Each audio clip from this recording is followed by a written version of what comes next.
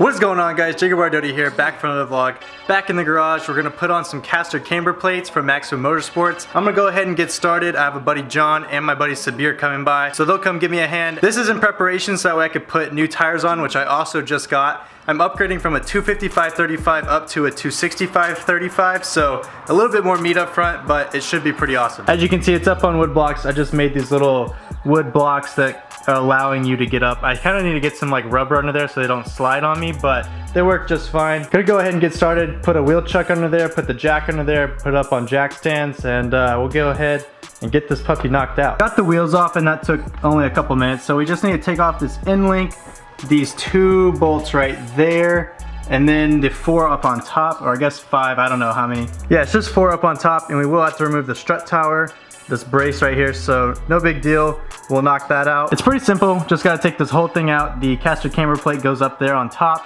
which is kind of unseen right now. It goes into the strut tower. So uh, the whole thing has to come out before we can install it. So now we got the whole squad here. Have this side almost out. So my failed plan of getting this all done before John gets here did not work out. But uh, we're just getting this side started and then we'll go ahead and knock out the other side. It is nice to have extra hands and a little jokester back there. Yep, I'm helping. Yeah, you're totally helping. So now we're taking off the top strut tower, brace, and these four bolts right here. And it's loud, so we're gonna knock it out and I'll update you guys later. We just finally got this off. It took way longer than expected, not 30 minutes like I thought at all. It's because of these camber bolts right here, the eccentric camber bolts. As you can see, there's like a lobe on there, kind of like a camshaft. This lobe got stuck on the inner strut it takes a lot of finessing and a big hammer, but make sure you take off this top one first to allow it to wiggle, or else it may never line up. This was extremely frustrating. Actually, Sabir even went home, but John stuck around. He actually got both of them out because he's just got that finesse. And uh, yeah, now we're gonna move on to the caster camber plates because everything should be decently smooth sailing from here. And if we're having issues putting on that bolt again, no worries. I'll order the non-camber one and just get the stock factory Ford one from like the Ford dealership. And that's because I'll actually have camber plates and camber adjustment with the plates, so I won't need those camber bolts, which is kind of like a band-aid fix for camber. Now we're getting to the fun part. So we're putting on the spring compressors because this is, even though the lowering springs under load, uh, we're gonna use Big Bertha, tighten them down because it'll make a quick job out of it and then that'll relieve the pressure to take off this top hat. On the Maximum Motorsports, you will use the lower part, which is the spring perch. You're just not taking off this uh, silver part. So we'll show the process as we do it, but now we're gonna get all this apart. This would be the same process if you were to actually add lowering springs as well. Now you can see that the spring moves freely in there, which means there's no tension whenever you release this, it won't fly off at you. This is extremely critical. You need to have full safety when you're working on this thing. These springs have a lot of spring rate and they can really do some damage. We did have to use a little bit of Bertha, but it's all free. It didn't spin too much, but it definitely helps to have the right tools. While we were doing that, John, he actually builds ground control coilovers, which I don't know if you guys know this, but ground control is based off of a Koni yellow and Eibach springs. It's just adjustable height and everything. So we double checked, made sure my are all good. He did, and uh, everything's good to go. So now we're gonna start to build on the camber plate.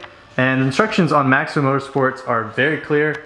Comes with some nice printed out pages with photos. I actually built these on my desk just as a test and they turned out just fine. So we're gonna go ahead and knock these out. I'm not gonna show too much of that process as it is in these instructions, so just follow these and you should be good. Here's the new camber plate installed. We have the supplied little rubber bands, that way it doesn't fall on us. But you do have to reuse the lower bottom part. You just use a flathead and pry it apart. Be careful of the ball bearings because they can go flying. We got kind of lucky with mine, but we noticed that, so we just want to give a quick little warning for that. But it's looking pretty good. This is the passenger side, so we're gonna go ahead and throw it in the car and then we'll be good to go. John and I actually decided that we're not going to do the lower bolt where we had the problem with the eccentric uh, camber bolt. I'm just gonna order or get the actual normal bolt from Ford or O'Reilly's or something. Also, it was a pain in the butt to get off and doing Oscar's coilovers, we had no issues. Probably a cheap $20 for a set of bolts and uh, we'll be good to go. It's now the next morning and here's where we're at. We have the bolts. I had to go all the way like 30 minutes away to the dealership to grab it. Uh, they had it in stock luckily. These are the bolts right here that we are going to put in there. They're about $22 just for two of these bolts with the nuts. I also picked up a deep 18 so that way I could do the end links on the strut a lot easier. Just use Big Bertha and just put it at a low power level. Definitely good to have this. Really it's just buttoning everything up and putting it all together. Everything's pretty much done as far as the caster camber plates go so I'm just gonna go ahead knock it out. Here it is all installed. This is what it looks like from the top. As you can see, there's a little support right here, which is pretty cool. Um, all these smaller ones are gonna be 20 foot-pounds, and this one is 26, this bigger one right here for the caster. On the other side, we have everything torqued up. They give you the torque specs in the, the instructions for Maximum Motorsports, which is very helpful. I love that they did this. The instructions are very clear. Also have that brand new bolt down there, the bolt up top, and then we also have the caster camber plates in there, which you can't really see, but they're in there. I'm sure the alignment's gonna be all over the place. You can't really see this mod on the car. However, it's a must have if you go lowered. Do not use those camber bolts or anything like that. That's just a band-aid. I would highly recommend you guys get these. I'll have the link down in the description below. Obviously, I'll have to go get an alignment, but I'm pretty sure that they're gonna love this and it's gonna make their job so much easier. Like I was saying, the instructions are very detailed. They give you everything you need to know.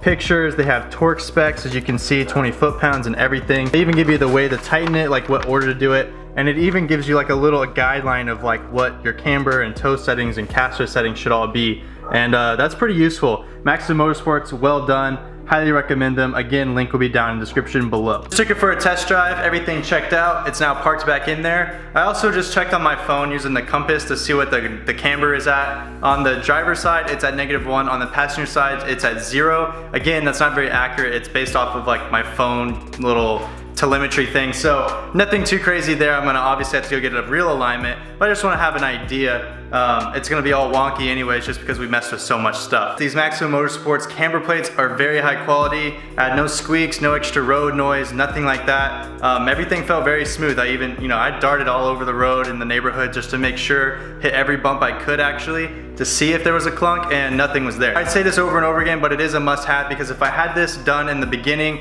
I wouldn't have burned through my Mickey Thompson so fast. However, I do have front tires already ready to go. I just gotta put them on and I'm going a little bit wider up front like I said before. But I hope you guys enjoyed this video. I'm gonna go ahead and wrap it up right here. If you guys enjoyed, then please comment, like, subscribe, and I'll see you guys next time.